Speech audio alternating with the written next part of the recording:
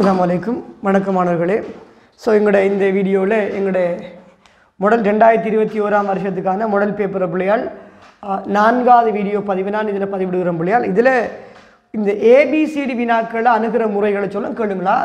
அதாவது ஏபிசிடி முப்பத்தி ஓராம் இலக்க வினாவிலிருந்து பிள்ளையால் நாற்பதாம் இலக்க வினா வரைக்கும் அணுகிற ஒரு விஷயத்தை சொல்ல போகிறோம் பிள்ளையால். அதிகமான மாணவர்கள் அதிகமான மாணவர்கள் பத்துக்கு ஒரு பத்து புள்ளிக்கு ஒரு எட்டு புள்ளிகள் பெறுவது ஒரு பெரிய கஷ்டமான வேலையாக இருக்குது. ஆனால் ஒரு அதான் அவளுக்கு பிள்ளை ஒரு பத்துக்கு அஞ்சு புள்ளிகள் தான் பெற்றுக்கொள்வாங்க அஞ்சு நாலு இதோட குறைவான புள்ளிகள் தான் பெற்றுக்கொள்வாங்க இந்த கேள்விகள் செய்யும்போது பிள்ளையா நாங்கள் ஒரு சில யுக்திகளை பயன்படுத்தணும் யுக்திகள். யுக்திகள் என்னன்னு சொன்னால் அப்படின்னா இந்த கேள்வியில் போகிற யுக்திகளை பொறுத்த வரைக்கும் கொஞ்சம் கவனிக்கணும் இந்த கேள்வியில் சில யுக்திகள் பயன்படுத்தப்பட வேண்டும். முதலாவது யுக்தி என்னன்னு சொன்னா பிள்ளையால் முதலாவது யுக்தி என்னன்னு சொன்னால் கேள்வி என்ன? இது விஷயம் என்ன? கேள்வி என்ன? எது எது சம்பந்தமாக கேள்வி கேட்குறாங்க? எது சம்பந்தமான கேள்வி கேட்குறாங்க?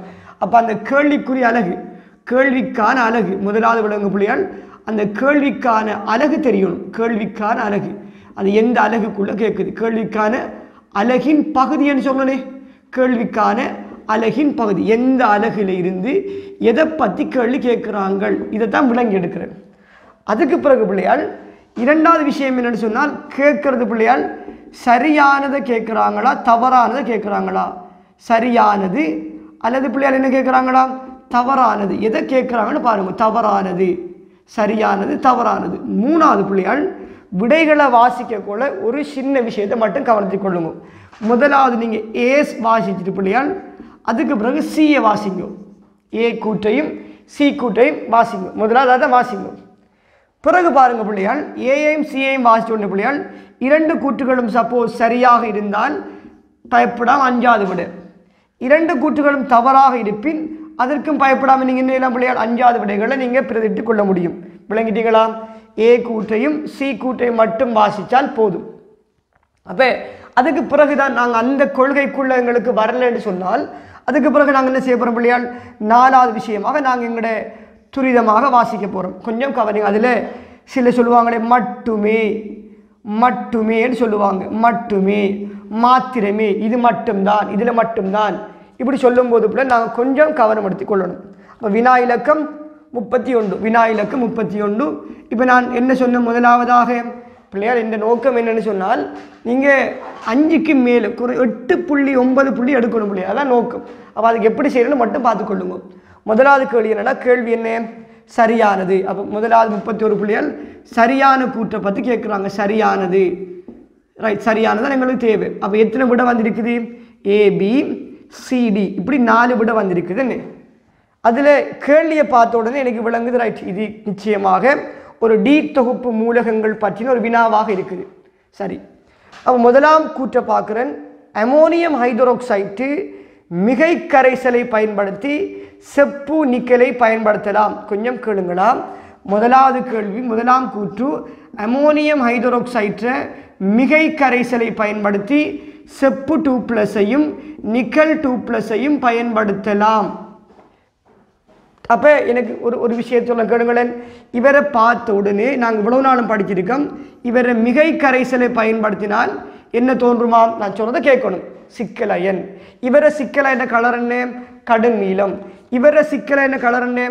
கடும் நீளம். ஆகவே என்ன வரப்போதாம் வேறு பிரிக்கலாமா? வேறு பிரிக்க முடியாது. வேறு பிரிக்க முடியாது. அப்போ இந்த கூற்று தவறு. அடுத்தது எதை வாசிக்க சொன்னேன்?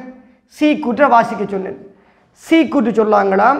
த்ரீ டி தொகுப்பு மூலகங்கள் scandium titanium vanadium chromium manganese இரும்பு கொபால்ட் நிக்கல் கொப்பர் நாகம் இவர்களில் ஆரை அடர்த்தி மின் எதிர்த்தன்மை மின் கடத்தல் என்பன எஸ் தொகுப்பு மூலகங்களின் அவ்வியல்புகளை விட உயர்வாக இருப்பதன் பிரதானமான காரணி உலோகப் பிணைப்பு வலிமையாகும் பிள்ளையால் உலோக பிணைப்பு வலிமை என்று சொன்னால் என்ன? உலோக பிணைப்பு வலிமையில் இருந்து நாங்கள் எதை ஒப்பிட முடியுமா? உலோக பிணைப்பு வலிமையிலிருந்து நாங்கள் பிள்ளையால் நாங்கள் படிச்சிருக்கிறோம். உலோக பிணைப்பு வலிமையிலிருந்து பிள்ளையால் நாங்கள் உலோக பிணைப்பு வலிமையிலிருந்து மொத்தமாக உலோக பிணைப்பு வலிமை ஒரு காரணி ரெண்டாம் காரணி மூன்று காரணிகளில் தங்கியுள்ளது. உங்களோட ரிசோர்ஸ் புக் உங்களோட சிலபஸ் இதைத்தான் சொல்லுது. உலோக பிணைப்பு வலிமை மூன்று பிரதானமான காரணிகள் படிச்சிருக்கு தங்கி இருக்குது நாங்கள் படிச்சிருக்கிற ரெண்டு காரணிகள் பிணைப்புக்கு வழங்கப்படும் சுயாதீன இலத்திரங்களும் இது சி கூட்டு என்ன சொல்லுங்கள்? சி கூட்டு பிணைப்புக்கு வழங்கப்படும் சுயாதீன இலத்திரங்கள் எண்ணிக்கை அதுக்கு பிறகு பார்த்தீங்கன்னு சொன்ன பிள்ளையால் ரைட் அதில் இருக்கிற அணுப்பருமன் இன்னொரு காரை தங்கி இருக்குது அதை என்னென்னு தேடிக்கொள்கிறேன் அதே பிறகு சொல்லாங்களாம் பிள்ளைகள் உலோக பிணைப்பு வலிமையிலிருந்து பிள்ளையால் எதை எதை ஒப்பிடலாம் என்று சொன்னால் அடர்த்தியை பற்றி பேசலாம். ஆரை பற்றி பேச இயலாது. மின் கடத்தல் பற்றி பேச முடியும் மின் கடத்தல் பற்றி பேச முடியும். அதே மாதிரி பிள்ளையால் மின்னெதிர்த்தன்மையை பற்றி பேச இயலாது. அப்போ எங்களுக்கு மின்னெதிர்த்தன்மை டி கோவை மூலகங்களில் மின்னெதிர்த்தன்மை பெருமானமானது இலத்திரன் நிலையமைப்புன்ற ஒரு காரணிகளையும் தங்கி இருக்குது. அப்போ இதில் பிள்ளையால் நாங்கள் உலோக பிணைப்பு வலிமையிலிருந்து எல்லாத்தையும் ஒப்பிடலாமா? இல்லை. ஒரு சில காரணிகளை மட்டும்தான் ஒப்பிட முடியும். அதனால் சி கூற்று தவறு. ஒரு பிள்ளை என்ன செய்யலாம்? ஏயும் சியும் தவறுன்னு சொன்னால் எனக்கு விட என்ன வரப்போகுது பிள்ளையால்? அஞ்சாவது விட வரப்போகுது. இதை எழுதினால் பரவாயில்லை. சரி. பி கூற்றை வாசிப்போம். இதுக்கு பிறகு பி கூற்று வாசிக்கலாம் தானே? பி கூற்று என்ன சொல்லாங்கன்னு சொன்னால் ஒரு சிக்கலயன்கள். அமோனியா ஏற்றப்பட்ட சிக்கலயன். நான்கு அமோனியா ஏற்றப்பட்ட ஒரு சிக்கலயன் கரைசலுக்கு நாங்கள் என்ன செய்ய போகிறோமாம் மிகையான அமோனியம் ஹைசோடியம் ஐதரோக்சைட்டு என்று சொன்னால் நாங்கள் படிச்சிருக்கிறோம் கவனிங்க பிள்ளையால் சோடியம் ஐதரோக்சைட்டு கரைசல் அமோனியா ஏற்றப்பட்ட சிக்க லயனோடு சேரும்போது கடந்த காலங்களில் வந்த கேள்வி உண்டு. இந்த இணை வெளியேற்றப்படும் வெளியேற்றப்பட்டு என்எச் த்ரீ வாயு வெளியேறுவதுடன் துர்நாற்றமுடைய என்எச் த்ரீ வாயு வெளியேறுவதுடன் செப்பு செப்பு ஹைட்ரோக்சைட்டாக படிவுற்று கொள்வதோடு சோடியத்திலே சல்பேற்று கரைசல் வெளியேறும். எல்லாருக்கும் இது நடக்க மாட்டா பிள்ளையால் அமோனியம் ஏற்றப்பட்ட சிக்கலையன்களோடு தான் என்ஓஸ் தாக்கம் நடக்கும். சரியான கூற்று. டி கூற்ற பார்ப்போம். K plus NS three CN minus SO four two minus இப்படியான உங்களுக்கு வித்தியாசமான உங்களுக்கு தெரியும் பிள்ளையால் நல்லா கேட்டுக்கொள்ளுங்களேன். உங்களுக்கு இருக்கிற இணைகள் இணைகளில் கே ப்ளஸ்ங்கிறது ஒரு கற்றயன் இணையாக இருக்க மாட்டாது. என்எஸ் த்ரீங்கிற ஒரு இணை அது நிச்சயமாக தெரியும் இணை. சிஎன் மைனஸ்ங்கிற ஒரு இணையாக இருக்கும். எஸ்ஓஓ டூ மைனஸ் இணையாகவும் இருக்கலாம் கற்றயனாகவும் இருக்கலாம் அன்னயனாகவும் இருக்கலாம். இது விளங்கிக் கொள்ளுங்க பிள்ளையால். இணை இது நிச்சயமாக இணை. இவர் கற்றயனன்னு தெரியும். இவர்கள் என்ன செய்கிறாங்கன்னு சொன்ன பிள்ளைகள் இவர்கள் இந்த இனங்களுடன் உருவான எம் டூ ப்ளஸின் சதுர தள வடிவமான சிக்கல் சேர்வைகள். எம் டூ ப்ளஸோட ஒரு சிக்கல் சேர்வை உருவாக போதும் அப்போ இதிலிருந்து நான் ஒரு கேள்விகள் இது ஒரு எஸ்ஏ கேள்வி அமைப்பில் வந்திருக்குது பிள்ளையால். இவர்களிலிருந்து ஒரு எம் டூ ப்ளஸோடு சேர்ந்து ஒரு எம் டூ ப்ளஸோடு சேர்ந்து பிள்ளையால் ஒரு சதுரத்தளம் வரணும். அப்போ கவனிங்க பிள்ளையால் எம்மண்ட ஒரு மூலகம் இருக்கக்குள்ள சதுர அடைப்புக்குள்ளே கொஞ்சம் யோசிங்க பார்ப்போம் இதுக்குள்ளே இருக்கிற இணைகளில் எண்ணிக்கை என்ன வரணுமாம் நாலு வந்தால் மட்டும்தான் அது சதுரத்தளம். அப்போ நான் இப்படி சொல்லணேன் சிஎன்னை மட்டும் பயன்படுத்தினால் சிஎன் நாலு மடங்கு போட்டேன்னு சொன்னால் இவரை ஏற்றம் என்ன வரப்போகுது? ப்ளஸ் டூ இவரை ஏற்றம் என்ன? மைனஸ் நாலு. விளைவில் ஏற்றம் என்ன வரப்போகுது? மைனஸ் ரெண்டு அப்போ என்ன வரப்போதாம் கீழே ஏற்றம் என்ன வரப்போகுது? ரெண்டு. இது சதுரத்தளம். சரி இப்படி ஒன்று யோசிக்கிறேனே. இன்னொரு விஷயம் யோசிக்கிறேன் பிள்ளையால் அதே மாதிரி நான் இப்படி சொல்லணும் சதுரத்தளம் என்று சொன்னால் எம் எம்முக்குள்ள பிள்ளையால் சிஎன் மைனஸ் அதாவது சிஎன் என்ற இணையிறே ரெண்டு மடங்கு. எஸ்ஓஃபோ என்ற இணையிற பிள்ளையால் ரெண்டு எண். அப்ப ஒட்டுமொத்தமாக எத்தனை வரப்போகுதாம்? அப்போ எஸ்ஸும் என்னும் இவரை ஏற்றம் மைனஸ் நாலு. என்ன சொல்லுங்கள்? மைனஸ் நாலு. இவரை மைனஸ் ரெண்டு இவரை ப்ளஸ் ரெண்டு அப்போ என்ன வரப்போகுதாம்? ப்ளஸ் நா மைனஸ் நாலு வரப்போகுது ஏற்றம். அப்போ இஞ்சதே வரப்போகுது. கே கே ஃபோ வரப்போகுது. இன்னொன்று சொல்ல கேளுங்களா. சதுர அடைப்புக்குள்ள பிள்ளையால் கேட்டுக்கொள்ளுங்கள். இப்படி சொல்லணே சதுர அடைப்புக்குள்ள ஒரு எம் இருக்குது. ஒரு எஸ்ஓஃபோ டூ மைனஸ் இருக்குது. ஒரு சிஎன் மைனஸில் இரண்டு எண்ணிக்கை இருக்குது. சரியா? ஒரு என்எஸ் த்ரீ இருக்குது. இப்போ என்ன வடிவம் வரப்போகுதாம்? நாலு இணைகள். இவரை ஏற்றம் ப்ளஸ் டூ இவரை மைனஸ் டூ மைனஸ் ரெண்டு. சரிதானே? அப்போ என்ன வரப்போகுது ஏற்றம்? ப்ளஸ் சாரி மைனஸ் ரெண்டும் போயிடுச்சுன்னு சொன்னால் மைனஸ் ரெண்டு. அப்போ கே ஏற்றம் என்ன வரப்போகுதாம்? கே டூ திரும்ப சொல்ல முடியாது சதுர அடைப்புக்குள்ள கவனிங்களாம். எம் ஒன்று இருக்குது. எஸ்ஓஃபோட எண்ணிக்கையை நான் இரண்டு எண்ணிக்கையை அதிகரிக்கிறேன். அதே மாதிரி பிள்ளையால் சி என்ற எண்ணிக்கையை ஒன்றொன்று அதிகரிக்கிறேன். என்எஸ் த்ரீர எண்ணிக்கையை புள்ளியால் ஒன்றொன்று அதிகரிக்கிறேன். ஒன்றொன்று வச்சுக்கொள்ளணும் இவரை ஏற்றம் ப்ளஸ் டூ இவரை ஏற்றம் மைனஸ் நாலு. இவரை ஏற்றம் மைனஸ் ஒன்று. ஆகவே விளைவில் ஏற்றம் என்ன வரப்போகுதாம்? மைனஸ் மூணு என்று சொன்னால் கே த்ரீ என்று வரும். அப்போ சொல்லுங்க பார்ப்போம் சதுர அடைப்புங்கிறது கொஞ்சம் பாருங்க புள்ளியால். இவ்வளவும் ஒரு விதமான அன்னயன் மூணு அன்னயன். ஒட்டுமொத்தமாக நான்கு அன்னயன் கா நான்கு அயன்கள் காணப்படும். இவ்வளவும் ஒரு அயன் ரெண்டு. மூன்று அயன்கள் காணப்படும் என்று படிச்சிருக்கிறோம். இவ்வளவும் ஒரு அயன் இவரும் ரெண்டு பேர். மூன்று அயன்கள் காணப்படும். ஒரு அயன் நாலு அயன் அஞ்சு அயன்கள் காணப்படும். அங்கே என்ன சொல்லாங்களாம்? இவர்களோட சேர்ந்து உருவாகிற சிக்கல் சேர்வைகள் நான்கு அயன்கள் காணப்படும். அப்படி சொல்லலாமா? நாலு இருக்கலாம் அஞ்சு இருக்கலாம் மூணு இருக்கலாம் இந்த எண்ணிக்கையில் இருக்கலாம். அப்போ நாலு மட்டுமன்னு சொல்லாமா? இல்லை. அப்படி கூற்றும் தவறு. விளங்குதா? இந்த பிள்ளையால் கொஞ்சம் நல்ல கேள்வி தரமான கேள்வி கொஞ்சம் யோசிச்சு கொடுங்க சரிதானே? உங்களுக்கு தேவைப்படும். சரியா? ரைட் அப்போ இதில் இருக்கிறது பெயர்கள் எல்லாம் கொஞ்சம் அந்த எஸ்ஓஃபோ டூ மைனஸும் ஒரு விதமான வினையாக இருக்கலாம் என்று ஞாபகம் வச்சுக்கொண்டு அப்படியே உங்களுக்கு மிக பிரயோசனமாக இருக்கும். சரிதானே ரைட் அடுத்து எங்களை முப்பத்தி இரண்டாம் கேள்வியை பொறுத்த வரைக்கும் பிள்ளையால் அது ஒரு கடந்த காலத்தில் வந்த ரெண்டாயிரத்தி பதின் ஆறாம் வருஷம் வந்த கேள்வியிலிருந்து நாங்கள் தொகுத்த விஷயம் உண்டு. முப்பத்தி ரெண்டாம் கேள்வி. இதில் பிள்ளையால் ஒரு வடிவம் தந்திருக்கிறாங்களாம் சிஎன் ஃபோன்ற மூலக்கூறு. சிஎன் ஃபோன்ற மூலக்கூறு இந்த மூலக்கூற்று சூத்திரத்தை உடைய சேர்வையின் அடிப்படை கட்டமைப்பு தரல லூயி வடிவம் தந்திருக்கிறாங்க. ஒரு லூயி வடிவம் எப்படி தாராங்கன்னு சொன்ன அப்படியா? லூயி வடிவம் தாராங்களாம் நைதரசன் இரட்டை பிணைப்பு காபன். காபனோட ஒரு நைதரசன் இருக்குது. நைதரசன் நைதரசன் நைதரசன் அணுக்கள் ஒரே பிணைப்பு நீளத்தை உடையதாக இருக்குது. விளைவுளேற்றம் பூச்சியமாக வரணும் என்று சொன்னால் இந்த இடத்துல இந்த இடத்துல நைதரசன் மீது ஒரு தனிச்சோடு இலத்திரன் காணப்பட இந்த இலத்தில் தனிச்சோடு இலத்திரம் காணப்பட நேரேற்றம் மறையேற்றம் இரண்டு சோடிகள் காணப்படுகிறது. ஒவ்வொரு நைதரசன் அணுவுக்கும் ஒரு பேர் சொல்லுவாங்களாம் என்ன? இவருக்கிடம் என் ஒன்னு சொல்லி சி டூ சொல்லி என் த்ரீ சொல்லி என் ஃபோர் சொல்லி என் ஃபைவ் இப்படி அஞ்சு அணுக்களால் உருவாக்கப்படுகிறது. இதில் பிள்ளையால் கவனிங்களன் தன்மை ஒப்பிட வேண்டும் என்று சொன்னால் மின்னெதிர்த்தன்மை ஏ கூற்ற பாருங்க பிள்ளையால். இவர்களை கலப்பு உங்களுக்கு தெரியும். இவர கலப்பு எஸ்பி கலப்பு. இவர கலப்பு தெரியும் உங்களுக்கு எஸ்பி டூ கலப்பு. இவர கலப்பு தெரியும் பிள்ளையால் எஸ்பி கலப்பு.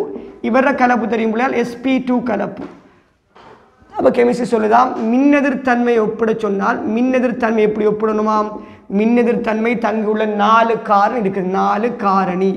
நாலு காரணிகளும் ஒன்றன் பின் ஒன்றாகத்தான் ஒன்று ரெண்டு மூணு நாலு. இப்படி தான் பார்த்துக்கு போகணும் நாலு என்னென்னு தெரியும் தானே கலப்பு பார்க்கணும். ஆகவே கலப்பு யாருக்கு குறைவாக இருக்குதோ அவர் தன்மை உயர்வு. அதிலையும் கலப்புலையும் பிள்ளையால் எவர் மீது ஏற்றம்? முதலாவது கலப்பு ஏற்றம். ஆகவே மின்னது தன்மை என் ஃபோக்குத்தான் கூட என் வண்ண விட. ஒரே கலப்பாக இருக்கும்போது ஏற்றம் பார்த்தா பூச்சி ஏற்றம். என் த்ரீக்கு தான் கூட என் ஃபையை விட. இப்படித்தான் வரிசை வரணும். ஆகவே இந்த கூற்றில் ஒரு பிழையான கருத்தாக இருக்குது. ஏ கூற்று. அதே மாதிரி கவனிங்க பிள்ளையால் நாங்கள் திரும்ப சொல்லமே பி கூற்றை பார்க்காம சி கூற்றை தான் பார்க்க சொல்லியிருக்கிறேன்னு நாங்கள் படிக்கிற முறை. எங்களுக்கு தேவை மார்க்ஸ் தானே. இதில் சொல்லுவாங்களாம் இதில் இருக்கிற C two C N three N four இவர்களில் வடிவம் இலத்திரன் சோடி கேத்திர கணித வடிவம் அணுக்களை சூழ உள்ள வடிவம். சி டூவை பார்த்தோம் என்று சொன்னால் சி டூ ஒரு நேர்கோட்டு வடிவமாக இருக்குது. அதே மாதிரி என் த்ரீயை பார்த்தோம்னு சொன்னால் என் த்ரீ ஒப்பிட்டோம்னு சொன்னால் அது ஒரு தள முக்கோணமாக இருக்குது. அதே மாதிரி பிள்ளையால் கேட்டுக்கொள்ளுங்களேன். சூழ உள்ள அணுக்களை சூழ உள்ள வடிவம்.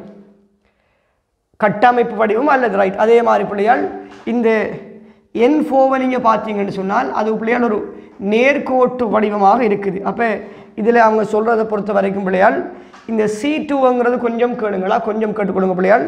இதில் இருக்கிற அணுக்களை சூழ உள்ள வடிவம். இங்கே பாருங்களா. இந்த இடத்துல ஒரு ஆள் சொல்வார் இலத்திரன் சோடி கேத்திர கணித வடிவம் என்று சொல்வார் அதே மாதிரி பிள்ளையர் அணுக்களை சூழ உள்ள வடிவம். அப்போ நான் எடுத்த இந்த அணுக்களை சூழல வடிவம் பிள்ளையால் நான் அதில் வடிவத்தை மட்டும்தான் கருதுறேன் இலத்திரன் சோடியெல்லாம் கேட்டிருப்பேன். அப்போ இதில் இலத்திரன் சோடியன்னு கேட்கல நான் இவர்கிட்ட கேட்குறது பிள்ளையால் கோணல் தான் அதைத்தான் மெயின் பண்ணி கேட்குறேன். இப்படியான பேப்பர்களில் பிள்ளையால் ஒரு சில பாஸ் பேப்பர்கள் இப்படியான ஒரு சில குழப்பம் இருக்கலாம். அதுக்கு தான் அந்த கேள்வி கேட்குறோம். பிள்ளையால் சரிதான் அப்போ இந்த கூற்றும் சரியான கூற்றாக இருக்குது. அதுக்கு பிறகு பி கூற்றை பார்ப்போம் பி கூற்று. பி கூட்டு சொல்லாங்களாம் எல்லாமே ஒரே தளம். உங்களுக்கு தெரியும் பிள்ளையால் எஸ்பி கலப்பு எஸ்பி டூ கலப்பு ஒரு ஒரு கட்டமைப்பில் இருந்தால் இவர்களோட இருக்கிற எல்லாரும் என்ன செய்ய போகிறாங்களாம் ஒரே தளமாக இருக்குங்கிறது இது ஒரு சர்வதேச தியரி ரைட் டி கூற்றை பொறுத்த வரைக்கும் டி கூட்டு இறுதியான கூற்று. இந்த இடத்தில் பிள்ளையால் ஒவ்வொருத்தர் மீதான் ஓட்சி இயற்றகன் அப்போ பாருங்களேன் என் ஒன் மீதான் ஓட்சி ஏற்றவன் பிணைப்பிட எண்ணிக்கை என்ன? மூணு. இவருக்கு இதோட இவருக்கு மின்னேத்தன்மை குறைவு. மைனஸ் மூணு. காபன் மீதான பிணைப்புகள் எண்ணிக்கை எத்தனை? நாலு. எல்லாரை விடவும் காபனுக்கு மின்னேத்தன்மை குறைவு. அப்போ காபன் மீதான ஏற்றம் ப்ளஸ் நாலு. அதே மாதிரி என் த்ரீயை பாருங்கள் பிள்ளையான் என் த்ரீயை பாருங்களேன் என் த்ரீ மீதுன்னு சொல்லக்குள்ள காபனால் இவருக்கு மைனஸ் ஒன்று கிடைக்கும். என்ன? காபனால் இவருக்கு மைனஸ் ஒன்று கிடைக்கும். காபனால் இவருக்கு மைனஸ் ஒன்று கிடைக்கும். அதே மாதிரி என் ஃபோ மீதான ஏற்றத்தை பொறுத்த வரைக்கும் இவர் மீதான ஏற்றம் என்ன பிள்ளையார்? என் ஃபோக்கு விளைவுள்ள ஏற்றம் தான் இவர் ஏற்றம் இருக்கும் ப்ளஸ் ஒன் என் ஃபைவ் மீதான ஏற்றம் மைனஸ் ஒன்னாக இருக்கும். அப்போ இந்த கூட்டு தவறாக இருக்குது விளங்குதா? லேசான கேள்விதான். கொஞ்சம் கொஞ்சம் நிதானமாக பார்த்தீங்கன்னா விட வந்துடும் பிள்ளையார். சரிதானே அப்போ? டி கூற்றும் தவறாக கருதுகிறோம் பிள்ளையார் லேசான கேள்வி கொஞ்சம் செல்லிவாக விளங்கி கொள்ளுங்க. முப்பத்தி இரண்டு முடிஞ்சிட்டோம். முப்பத்தி மூன்றாம் கேள்விக்கு போக முடியாது அதையும் கொஞ்சம் பாருங்க. முப்பத்தி மூன்றாம் கேள்வியானது ஒரு இன்னோகானிக் செக்ஷனோடு சம்மந்தப்பட்ட கேள்வி. வளமையாக பிள்ளையால் இந்த விஷயத்தை நான் சொல்லிக்கொள்கிறேன் வளமையாக எங்களோட பேப்பரில் பிள்ளையால் முப்பத்தி ரெண்டாம் கேள்வி. வளமையான பேப்பரில் வளமையாக வளமையாக பிள்ளையால் எங்களோட முப்பத்தி இரண்டாம் கேள்வி. வளமையாக நாங்கள் தியரி தெடுத்துவோன்னு சொல்லுவோம். முப்பத்தி ரெண்டாம் கேள்வி ஒரு சேதன கட்டமைப்பு தரப்பட்டு சேதன கட்டமைப்பு தரப்பட்டு அதற்குரிய தளம் கோணம் நீளம் நேர்கோட்டை அணுக்களை கே வளமையான கேள்வி அதை மட்டும் ஞாபகம் வச்சா சரி. அது எப்படி கணிக்கிற? ஒரு சூத்திரம் தந்தாங்க அதில் உண்மையான வடிவத்தை வரைஞ்சி கலப்பு பார்க்க தெரிஞ்சால் போதுமானது. வினா இலக்கம் முப்பத்தி மூன்று பிள்ளையாள் வினா இலக்கம் முப்பத்தி மூணை பொறுத்த வரைக்கும் பி தொகுப்பிட சேர்வைகள். அப்போ கேள்வி என்ன? பி தொகுப்பு சேர்வைகள். அதில் முதலாம் கருத்து சொல்கிறாங்களா பிள்ளையால் பதினைந்தாம் கூட்ட மூலகங்களின் அப்போ ஏ கூட்ட பாபமே ஏ கூற்று அதில் இருக்கிறதுல கேள்வி என்ன? சரியானது. பதினைஞ்சாம் கூட்ட மூலகங்களின் ஏலைட்டுக்களின் நீர்ப்பகுப்பு திறன். ஏலைட்டுக்கள் என்று சொன்னால் எங்களுக்கு தெரியும் என்சிஎல் த்ரீ என்சிஎல் ஃபைவ் அதே மாதிரி பிசிஎல் த்ரீ பிசிஎல் ஃபைவ் அதே மாதிரி ஆசனிக்கிற குளோரைட்டு எஸ்பிசிஎல் த்ரீ அதே மாதிரி பிஐசிஎல் த்ரீயில் பிள்ளைகள் இவர்களில் ஏலைட்டுக்களில் இந்த ஏலைட்டு இயற்கையில் இல்லை உறுதியே இல்லை அட்டக விதியை மீறுது. கூட்டத்தின் வழி இவர் முற்றாக முற்றாக. இந்த இடத்துல பிள்ளையார் இப்படித்தான் இதான் இப்படித்தான் நடக்க போகுது. இங்கே பாருங்களா இந்த இடத்து நீர் பகு இப்படித்தான் நடக்க போகுது. முள்திசை வேகமாக பிச்சு குறைவாக. மீளும் தாக்கம் இங்கே மீளும் தாக்கம் போக போக நீர்ப்பகுப்பு திறன் குறைவடையும். படிச்சு தான் இருக்கீங்கள். இவரால் கிடைக்கிற விளை இவரால் இவரால் கிடைக்கிற விளைவுகள் தெரியும். பிறகு சொல்கிறாங்களாம் பிள்ளையால் நீர்ப்பகுப்பு திறன் போக போக குறையும். திரும்ப சொல்லாங்களாம் ஒரு கருத்து கரைத்திறன் குறைவடையும். விளைவின் கரைத்திறன் குறைவடையும். கூட்டத்தின் வழியே நீர்ப்பகுப்பு திறன் கமா கூட்டத்தின் வழியே நீர்ப்பகுப்பு திறன் கூட்டத்தின் வழி அதிகரிப்பதோடு அதிகரிக்கிறது. முதலாவது வசனத்தில் வந்த அரைவாசி நீர்ப்பகுப்பு திறன். கவனிங்க பிள்ளையால் இதில் ரெண்டு கருத்து கேட்காங்க. இதையும் கொஞ்சம் கவனிங்களா? ஒரு கேள்வியில் ஒரு கேள்வியில் இரண்டு விஷயங்களை பற்றி உள்வாங்குவாங்க. ஒரு விஷயம் என்ன? நீர் பகுப்பு. ரெண்டாவது என்ன பிள்ளையால் கரைத்திறன் கவனிங்கோ இப்படி கேள்விகளில் கொஞ்சம் கவனிக்கணும். ஒரு பிள்ளைக்கு அந்த இடத்துல டென்ஷன் ஆகக்கூடாது. ரெண்டு விஷயத்தை ஒரு கேள்வியில் புகுத்துறாங்க. ஒரு விஷயம் நீர் பகுப்பு திறன் என்ன செய்ய போதாம் போக போக குறையும். கரைத்திறன் என்று சொன்ன பிள்ளையால் இவர்கள் எல்லாம் முற்றாக கரைவாங்க. இவர்கள் என்ன செய்ய போகிறாங்களாம் இவராலே எஸ்பிஓசிஎல் பிஐஓசிஎல் போன்ற வெள்ளை நிறமான வீழ்படிவுகள் தோன்றும் நீர் பகுப்பால் வர வரது. அப்போ கரைத்திறன் என்ன செய்ய போதாம்? கரைத்திறன் குறையும். அப்போ கரைத்திறன் குறையும் என்கிற கூற்று சரி. இவர் பிழை. அப்போ இந்த கூற்று முழுமையாக பிழையாகத்தான் இருக்கும். பிள்ளையால் கொஞ்சம் விளங்கிக் கொள்ளுங்களா ரைட் திரும்ப சி கூற்றை பார்த்தாங்கன்னு சொன்னால் பதினைந்தாம் கூட்ட ஏ ஐதராக்ஸ் ஐதரோக்சைட்டுகளின் கொதிநிலை வரிசை பதினைந்தாம் கூட்ட ஐதரோக்சைட்டுகளின் கொதிநிலை வரிசையை பொறுத்த வரைக்கும் எங்களோட பாடப்பரப்பு என்ன சொல்லுதாம்? கொதிநிலை வரிசையில் நான் ஏற்கனவே சொல்லியிருக்கிறேன் பதினஞ்சாம் கூட்ட ஐதரோக்சைடு கொதிநிலை. என்ன செய்ய போதாம்? அந்த அதி அதிகரிப்பில் என்எஸ் த்ரீ விட என்ன செய்ய போதாம்? எஸ்பிஎஸ் த்ரீ அப்படித்தானே பிள்ளையால் எஸ்பிஎஸ் த்ரீட பெருமானம் தான் என்எஸ் த்ரீயை விட உயர்வாக இருக்கும். பிஎஸ் த்ரீ பெருமானம் தான் ஆக தாழ்வாக இருக்கும். என்ன இது தெரியாமல் இல்லை தானே எல்லாருக்கும்? அப்போ இந்த கூற்றில் என்எஸ் த்ரீயோட எஸ்பிஎஸ் த்ரீக்கு கொதிநிலை அதிகமாக இருக்கும். அந்த கூற்று தவறு. சி கூற்றை பார்த்தீங்கன்னு சொன்னால் சி கூற்று தான் பார்த்துட்டோம். தவறு. அப்போ ரெண்டும் பிள்ளை என்ன விட வரப்போகுது? அஞ்சாவது விட திருத்தம் எழுதலாம். அதுக்கு பிறகு தான் நாங்கள் உண்மையான விடைக்கு போகக்கூட பி விடையும் தேடி பார்ப்போமே. ஹெச் டூ ஓ டூ கவனிங்க பிள்ளையாள் H two O two hydrogen ஃபெராக்சைட்டானது அமிலக்கார இரு ஊடகங்களிலும் ஒற்றியேற்றல் தாழ்த்தல் தாக்கங்களை நிகழ்த்தும் நல்லா கேட்டுக்கொள்ளுங்க பிள்ளையால் ஹெச் டூ ஓ டூ என்ன செய்யலாம்னு சொன்னால் ஹெச் டூ ஓ டூ என்ன செய்யலாம்? ஆக்சிஜனாக மாறும். அதே மாதிரி பாருங்கள் பிள்ளையால் ஹெச் டூ ஓ டூ என்ன செய்யும்னு சொன்னால் நீர் மூலக்கூறாக மாறும். பாடப்பரப்பு தெளிவாக சொல்லுது. மைனஸ் ஒன்று மைனஸ் ஒன்று என்ற ஒற்றியேற்றகன் பூச்சியமாக ஒற்றியேற்றப்படும். அதே மாதிரி மைனஸ் டூவாக தாழ்த்தப்படும் படிச்சிருக்கிறோம். அது கெமிஸ்ட்ரி சொல்லுதான் இந்த இடத்தில் அமில ஊடகத்திலையும் அதே மாதிரி கார ஊடகத்திலையும் என்ன செய்யலாமாம்? ஹெச் டூ ஓ இது ஒரு பாஸ் பேப்பர் கேள்வி உண்டு. அதை நான் கொஞ்சம் லேசாக திருத்தி அமைச்சிருக்கிறேன். இவ்வளோ தான் விஷயம். ஹெச் டூ ஓ டூ அமிலகார இரண்டு ஊடகங்களிலும் தங்கள் ஒற்றியேற்றல் தாழ்த்தல் வேலைகளை செய்ய முடியும்னு படிச்சிருக்கிறோம். அந்த கூட்டு சரி. இறுதியாக பிள்ளையால் டி கூற்றை பொறுத்த வரைக்கும் என்ன சொல்லாங்கன்னு சொன்னால் நீர்க்கரை இதுவும் ஒரு பாஸ் பேப்பர் கேள்வி தான் நீர்க்கரைசலில் பதினேழாம் கூட்டு ஐதரோக்சைட்டுகள் அமில வலிமை நீர்க்கரைசல் என்று சொன்னால் ஹெச்சிஎல் ஹெச்பிஆர் அதே மாதிரி ஹெச்ஐ அதே மாதிரி பிள்ளையால் ஹெச்எஃப் பொறுத்த வரைக்கும் ஹெச்எஃப் மீளும் தாக்கம் ஹெச்ஐ முற்றாக முற்றாக முற்றாக. நாங்கள் கடந்த காலத்தில் வந்த கேள்வி என்னென்னு சொன்னால் குறித்த குறித்த செறிவுடைய குறித்த செறிவுடைய செறிவு தரப்பட்ட குறித்த செறிவு என்று சொன்னால் குறித்த சரிவுன்னு சொன்னால் HCl அமில வலிமை HBr அமில வலிமை ஹெச்ஐடு அமில வலிமையை விடவும் பிள்ளையால் HF அமில வலிமை சின்னனா தான் இருக்கும். ஆனால் சரிவு தரப்படாத விடத்து சரிவு இல்லை சரிவு தரப்படல சரிவு தரப்படாத விடத்து என்ன செய்யலாம்னு சொன்ன பிள்ளையால் நாங்கள் அதை சொல்ல இயலாது. குறி சரி சரி இந்த குறித்த சரிவுன்னு சொன்னால் நாங்கள் இப்படி கருத்தை சொல்லலாம். அப்போ இந்த இடத்துல பிள்ளையால் கொஞ்சம் கெடுங்க. இதில் பிள்ளைகள் ரெண்டு விதமாக யோசிக்கலாம். ஒன்று என்னென்னு சொன்னால் இல்லையே இவர்கள் சமனான சரிவாகத்தான் இருக்கும்னு சொன்னால் டி கூட்ட சரி போட்டு டி கூட்டு டி கூட்டு சரி போட்டு பிடி என்ற தெரிவுக்கு அஞ்சு விட கொடுத்தாலும் சரி. அல்லது பிள்ளையால் இந்த இடத்துல பி கூற்று மட்டும்தான் சரியான கொடுத்து அஞ்சாவது விட கொடுத்தாலும் சரி. நான் எடுத்த கேள்வியில் இந்த கருத்தை கொஞ்சம் விதைச்சி வச்சிருக்கிறேன் இல்லையா? குறித்த சரிவு மாறுபட்ட சரிவு ஹெச்சிஎல்ல சரிவு ஹெச்பிஆர் சரிவு ஹெச்எஃப்ட சரிவை வச்சு ஒரு கேள்வி உண்டு. அதே மாதிரி பிள்ளையால் முப்பத்தி நாலாம் இலக்கத்தை பார்ப்போம். சரிதானே? முப்பத்தி நாலாம் இலக்கத்தில் இந்த இயக்கவியலில் எங்களுக்கு தெரியும் பிள்ளையால் தாக்கங்கள் ஒரு படி பல படிகளில் நிகழக்கூடியது.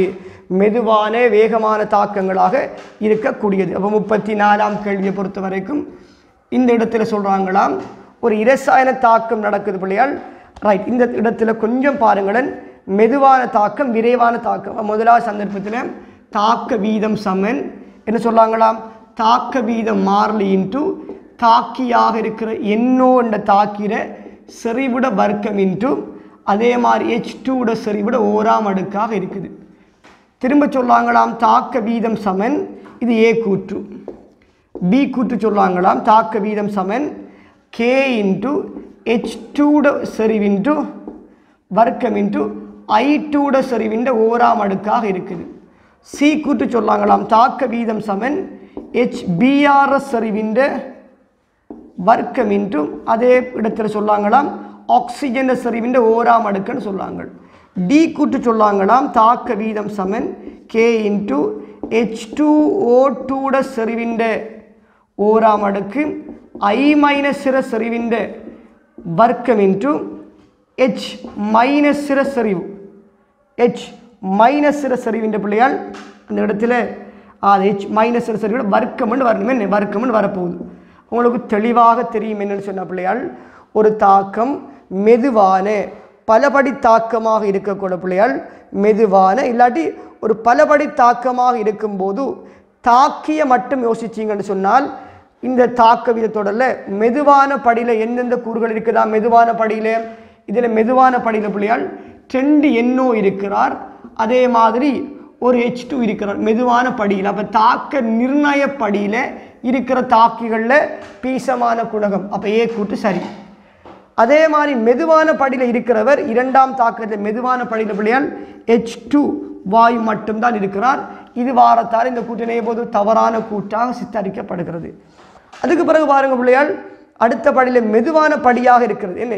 மெதுவான படியாக பிள்ளையார் என்ன வைக்க போதாம்? ஹெச்பிஆர் என்ற ஒருத்தரும் ஹெச்பிஆர் என்ற ஒருத்தரும் பிள்ளையால் அதே மாதிரி ஆக்சிஜனும் தான் இருக்கிறார். என்ன? ஹெச்பிஆர் ஆக்சிஜன் மட்டுமே இருக்கிறதால அப்போ ஹெச்பிஆர் ரெண்டு ஆக்சிஜன் உண்டுன்னு சொல்கிறத பிள்ளையால் இந்த கூட்டு சரி. இந்த இடத்துல மெதுவான படியில் இருக்கிறவர் ஹெச் டூ ஓ டூ பிள்ளையால் ஐ மைனஸும் மட்டும் இருக்கிறதால இந்த கூட்டு பிழை. அப்போ விளங்குதா என்னண்டு? லேசான விளக்கம். இது லேசான விளக்கம். சரிதான பிள்ளையால் அந்த கிளை உங்களுக்கு விளங்கியிருக்கும் அதே மாதிரி கவனிங்க பிள்ளையால் வினா இலக்கம் முப்பத்தி அஞ்சு. வினா இலக்கம் முப்பத்தி அஞ்சுக்கு வாரன். இது ஒரு அவத்தை சமநிலையில் இருக்கிற கொதிநிலைக்கும் ஆவி அமுக்கத்துக்கும் இடைப்பட்ட சிறிய தொடர்பு கொண்டும் இந்த வரைவை நீங்கள் பொறுத்த வரைக்கும் லேசாக விளங்கி கொள்ள முடியும் பிள்ளையால். இதில் நிலைக்குத்தச்சு ஆவி அமுக்கம் ஏடிஎம்னு சொல்லுவாங்க. கிடையாச்சார்ந்த வெப்பநிலை உங்களுக்கு தெரியும் என்னன்னு சொன்னால் ஏ அதே மாதிரி பிள்ளையால் பி அதே மாதிரி சி அதே மாதிரி டி இப்படி நான்கு வித்தியாசமான ஆவியமுக்க பெருமானங்கள் தரப்படுகிறது. இது ஒரு ஏடிஎம் எடுங்களேன் இவர் ஒரு ஏடிஎம் அப்போ இதிலிருந்து பிள்ளையால் யார் ஆவியமுக்கம் கூட வரப்போகுதுன்னு சொன்னால் இப்போ பாருங்கள் பிள்ளையால் இப்போ இந்த இடத்துல இவர கொதிநிலை தான் உயர்வு. அப்போ இந்த கொதிநிலை உயர்வா கொதிநிலை உயர்வுன்னு சொன்னால் கொதிக்க வைக்கிற கஷ்டம் கொதிக்க வைக்கிற கஷ்டம். அப்போ யார கொதிநிலை கூட?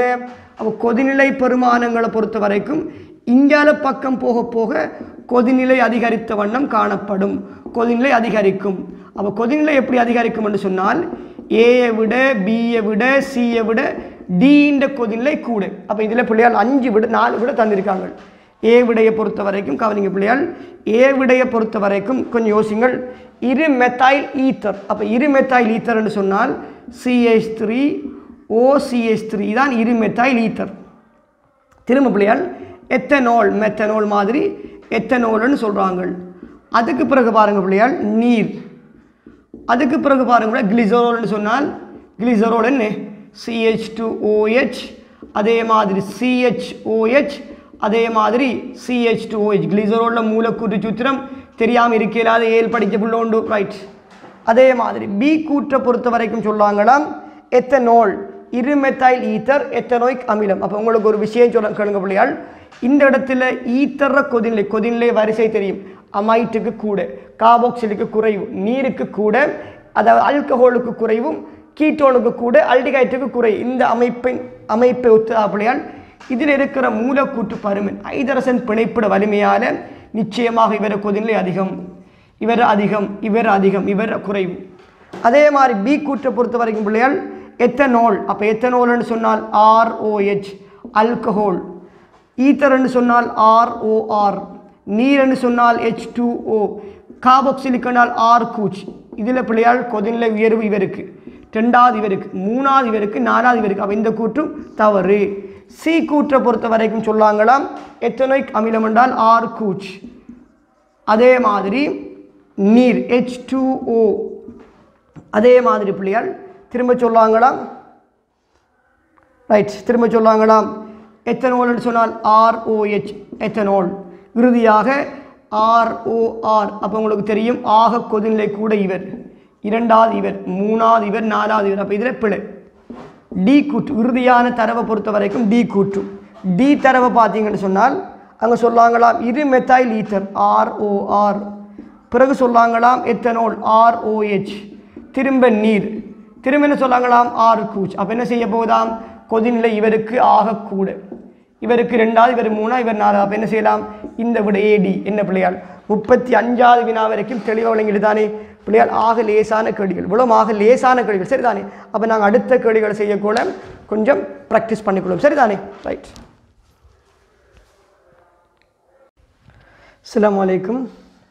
அவர்கள் இந்த எங்களோட மாடல் பேப்பர் ரெண்டாயிரத்தி இருபத்தி ஓராம் வருஷத்துக்கான மாடல் பேப்பரில் பிள்ளையாள். நாங்கள் முப்பத்தி ஆறாம் வினாவை பார்த்துக்கொள்ளுமே. இந்த முப்பத்தி ஆறாம் வினாவை பார்த்துக்கொள்ளும் பிள்ளையாள். இந்த வினாட நோக்கம் என்னன்னு சொன்னால் கலவைகள் இரண்டு கலக்கப்படும் போது நாங்கள் இலட்சிய கலவை ஆகிஞ்சு பாருங்க பிள்ளையாள். ஒரு ஏபி என்ற கலவை ஒரு ஏபி என்ற கலவை இருக்குது. ஒரு ஒரு பிக்யூ என்ற கலவை இருக்குது பிள்ளையால் ஒரு எக்ஸ்ஒய் என்ற கலவை இருக்குது. அப்போ எங்களுக்கு தெளிவாக தெரிய வேணும். வித்தியாசமான கலவைகள் இருக்கும்போது நான் இந்த இடத்துல பிள்ளையால் இவரை நான் ஒரு இலட்சிய கலவைன்னு கருதுறேன். இவரை பிள்ளையால் ஒரு நேர்விலகல் கலவையும் இவரை பிள்ளையான ஒரு எதிர்விலகல் கலவைன்னு கவனித்து கொண்டு சொன்ன பிள்ளையால் எப்படி ஒரு நேர்விலகல் கலவை இருக்க போதா ஒரு நேர்விலகல் கலவைன்னு சொன்னால் டெல்டா எச்சிர வெப்ப உடரை மாற்றம் பூச்சியமாக இருக்கும். அப்போ இவர் இவர வகைகள் என்ன பிள்ளையால்? நேர்விலகல் கலவைகளில் வகைகளை பற்றி படிச்சிருக்கேன் தானே பிள்ளையால் நாங்கள் நேர்விலகல் வேணால் எப்படி அந்த வகைகள் இருக்கும்?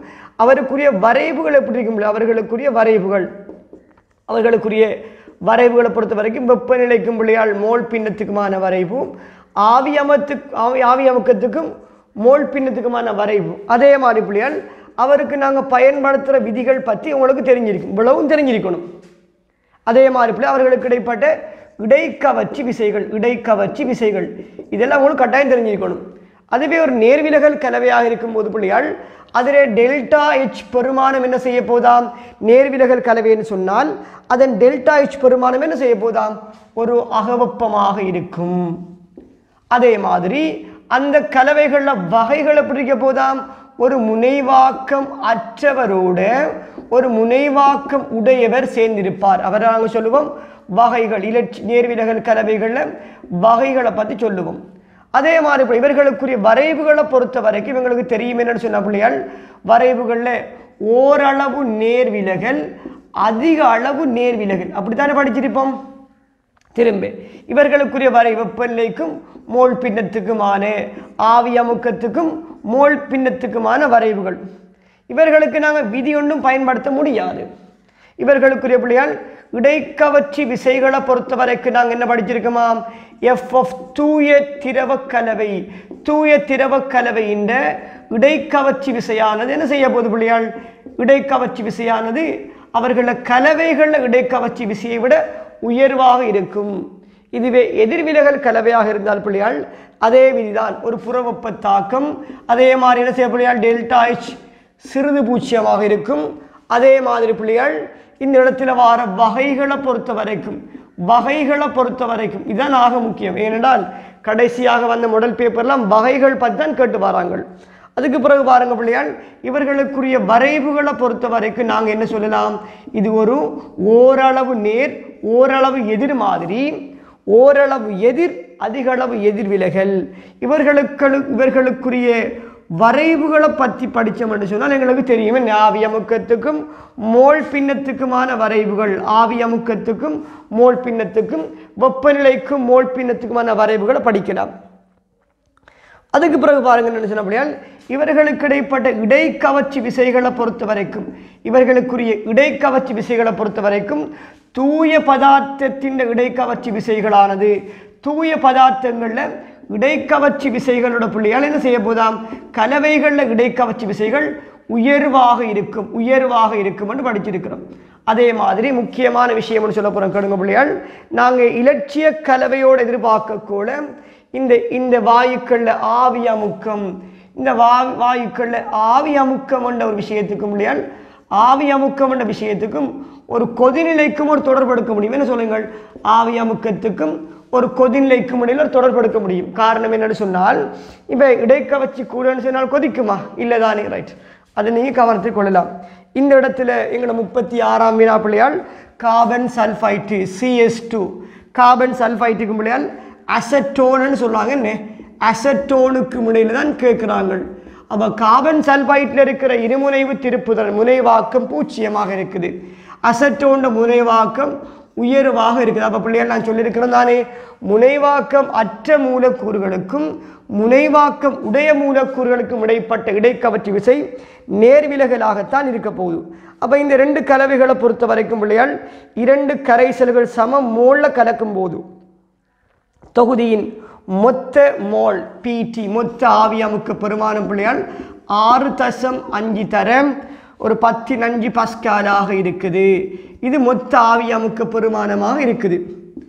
அதே மாதிரி பிள்ளையால் எங்களுக்கு தெரியும் நிரம்பல் ஆவி அமுக்கங்கள். இரு சல்ஃபைட்ரு சிஎஸ் டூ கார்பன் இரு சல்ஃபைட்ரு கார்பன் இரு சல்ஃபைட்ரு ஆவி அமுக்க பெருமானத்தை பொறுத்த வரைக்கும் அஞ்சு தசம் அஞ்சு தர பத்தின் அஞ்சு. அதே மாதிரி அசட்டோண்டு அசட்டோண்டு. அசட்டோண்ட் ஆவியமுக்க பெருமானம் நிரம்பல் ஆவியமுக்க பெருமானம் பிள்ளையால் மூன்று தசம் மூன்று அஞ்சு தர பதினஞ்சா இருக்குது. உங்களுக்கு தெரியுமே என்னன்னு சொன்ன பிள்ளையால் இவர்கள் ரெண்டு பேரையும் கூட்டினீங்கன்னு சொன்னால் எட்டு தசம் எட்டு அஞ்சு தர பத்தினஞ்சு பஸ்காலா இருக்கணும். ஆனால் எங்களுக்கு வார பெருமானம் குறைவாகத்தான் இருக்குது. அப்போ நாங்களே என்ன சொல்லிக்கொள்ளாமன்னு சொன்ன பிள்ளையால் உண்மையாக சொல்லிக்கொண்டோம்னு சொன்னால் இடைக்கவர்ச்சி விசைகளை பொறுத்த வரைக்கும் இடைக்கவர்ச்சி விசைகளை பொறுத்த வரைக்கும் என்ன செய்ய போகுது பிள்ளையாள் எங்களுக்கு தெரியும். நேர்விலகல் கலவையோடு மாறி சொல்லிட்டேன்னு என்ன சொல்றீங்கள்? நேர்விலகல் கலவைன்னு சொன்னால் இந்த கலவையின் இடைக்கவர்ச்சி விசையை விட மற்றவர்கள இடைக்கவர்ச்சி விசை உயர்வாக இருக்கும். அப்போ நாங்கள் சொல்லலாம் பிள்ளையாள் இந்த இடத்துல இவர்கள் ஒரு நேர்விலகலை காட்டும்.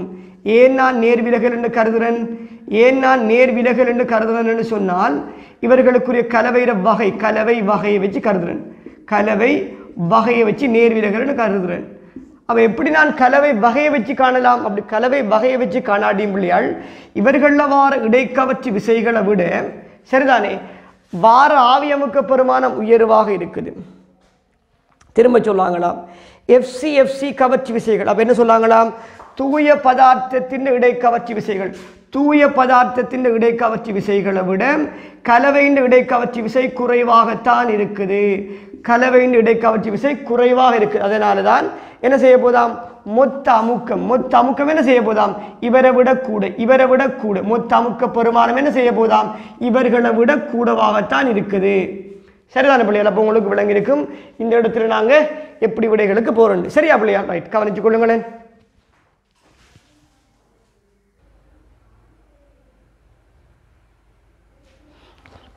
ஸோ எங்களோட முப்பத்தி ஏழாம் வினாவை பாருங்க பிள்ளையாள் வினா இலக்கு முப்பத்தி ஏழு சரியாக நீங்கள் பார்த்தீங்கன்னு சொன்னால் அவங்களுக்கு தெரிய வரும் என்னன்னு சொன்னால் பிள்ளையாள் ஒரு அசட்டிக் அமிலம் ஒரு என்ன? ஒரு அசட்டிக் அமிலம் ஒரு மென் அமிலம்.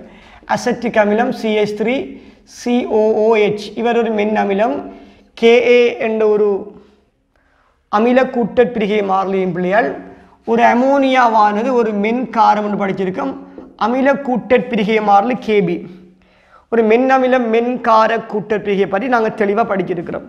இந்த இடத்துல சொல்லுவாங்களாம் பிள்ளையால் இரண்டும் ஒரு குறிப்பிட்ட கனவளவுடைய கரைசல்ல இருந்து சரிதானே? இரண்டு பேரும் என்ன செய்ய போகிறோமாம் நியமிப்பு செய்யப்படும் போது நாங்கள் படிச்சிருக்கோம் பிள்ளையால் வன்காரத்தோட வன் அமில நியமிப்பு வன்காரத்தோட மென்கார நியமிப்பு வன்காரத்தோட என்ன செய்ய போகிறோமாம் மென் அமில நியமிப்பு வன் அமில நியமிப்பு.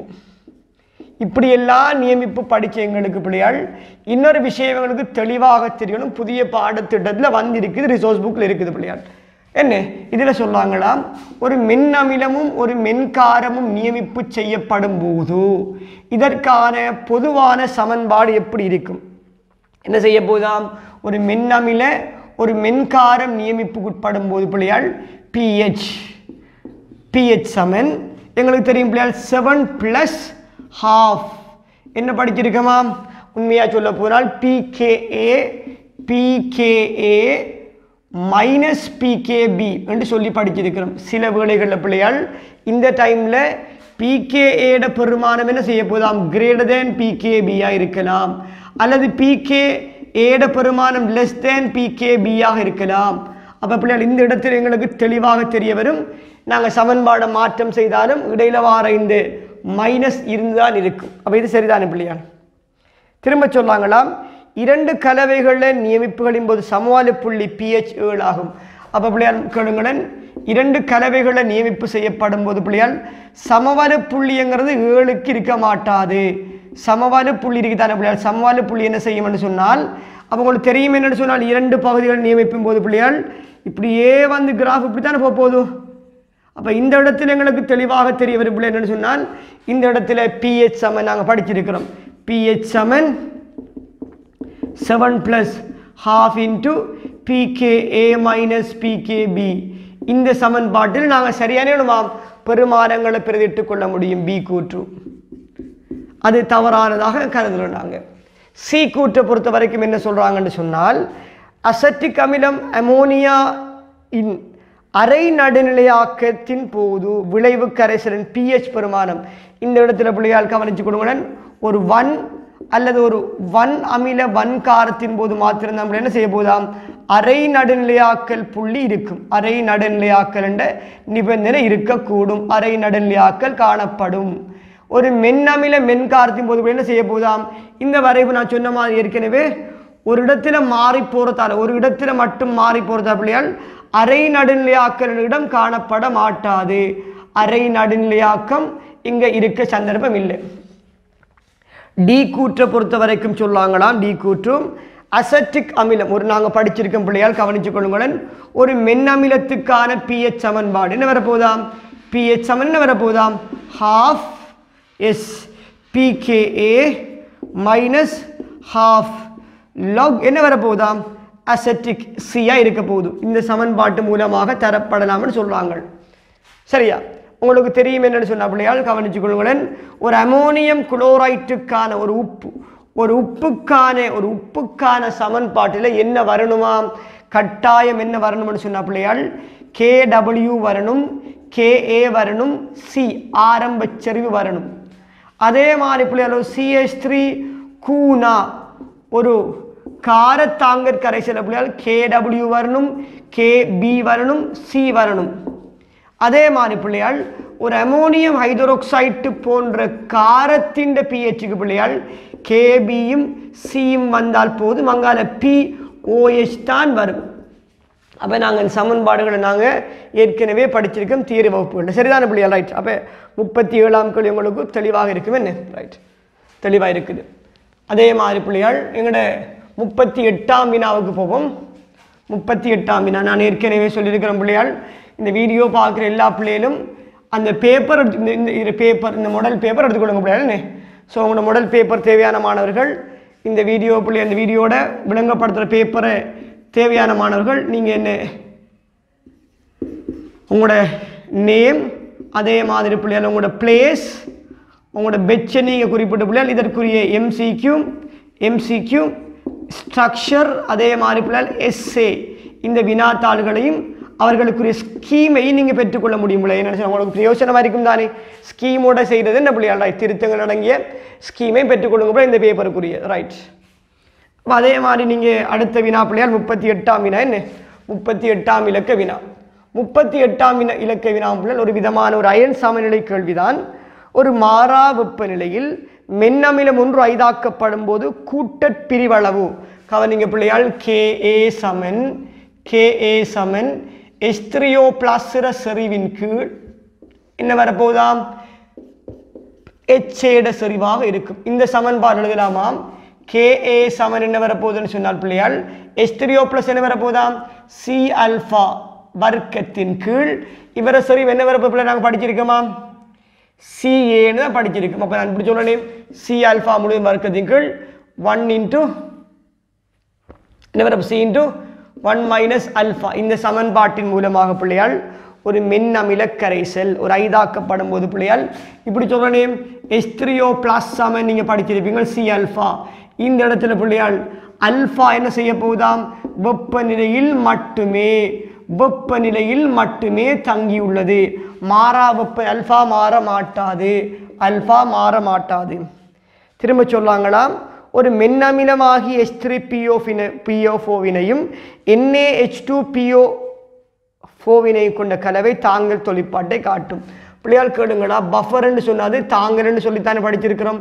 தாங்கற் கரைசல்ல வகைகளை சொல்ல கேளுங்க பிள்ளையால். தாங்கற் கரைசலானது பிள்ளையால் மொத்தமாக அஞ்சு வகைப்படுத்தப்பட நான் நாலு வகையை சொல்லுவேன் அசட்டிக் அமிலத்தோட அந்த அசட்டிக் அமிலத்தில் ஒரு கார உப்பு காணப்படுகிறது.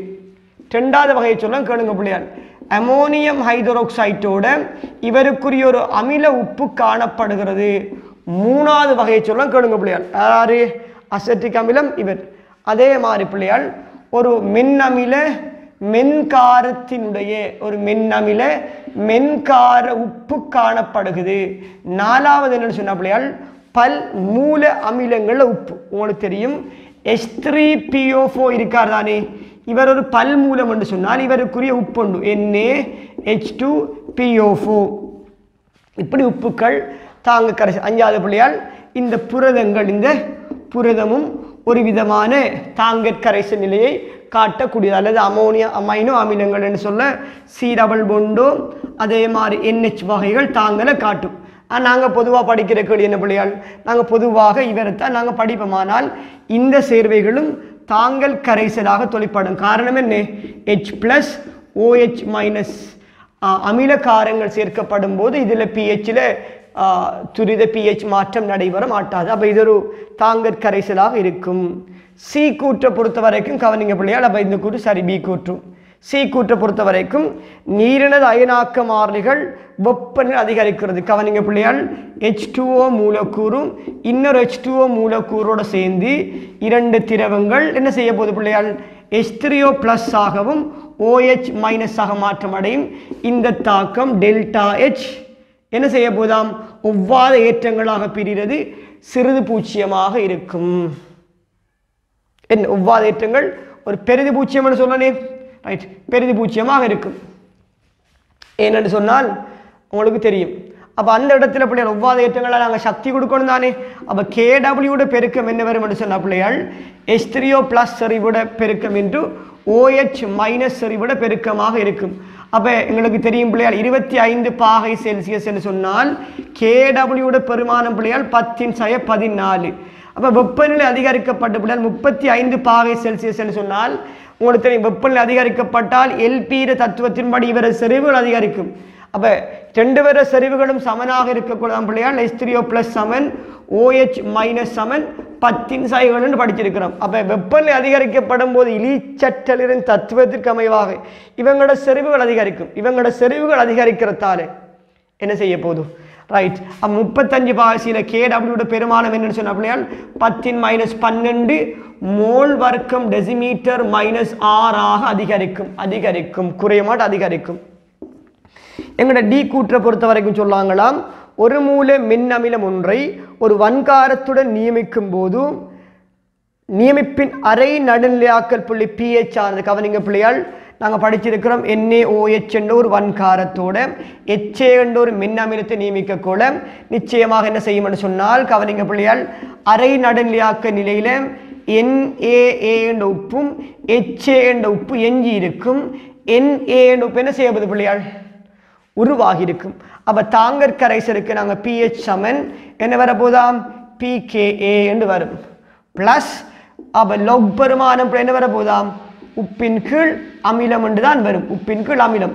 இந்த உப்புடையும் அமிலத்தின் அளவுகள் ரெண்டு பேரும் சமமான அளவுகள் இருக்கிறதால பிள்ளைகள் பிஹெச் சமன் என்ன வரப்போதாம் பிகேஏ என்ற பெருமானம் வரும்.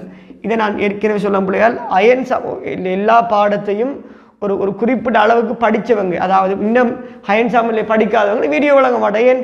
பேப்பர் கிளாஸ் எலபரேஷன் செய்யலாதுன்னு. ஐம்பது நிமிஷம் மூணு நிமிஷம் படித்தோம்னு சொன்னால் ஒரு மார்க்ஸ் எடுக்கணும். அப்படி தான் படிக்கிறேன். என்ன?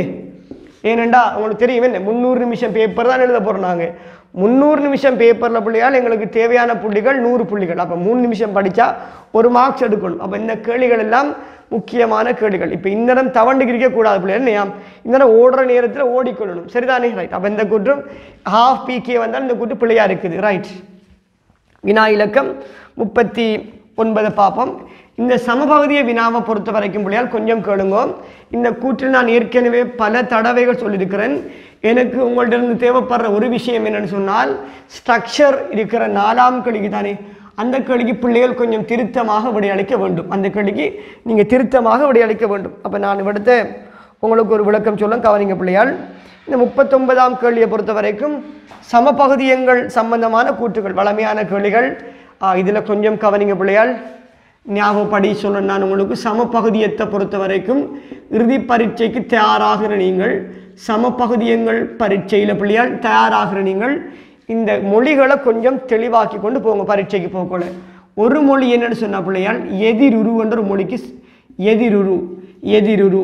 ரெண்டாவது என்னன்னு சொன்ன பிள்ளையால் ஈர்வழி மயம் ஈர்வழி மயம் என்ற ஒரு ஈர்வழி மயம். அதே மாதிரி பிள்ளையால் மூன்றாவது பதம் என்னன்னு சொன்னால் உங்களுக்கு தெரியும் பிள்ளையால் கைரல் காவல் சமச்சீரற்ற காவல் சமச்சீரற்ற காவல் இந்த இடம்.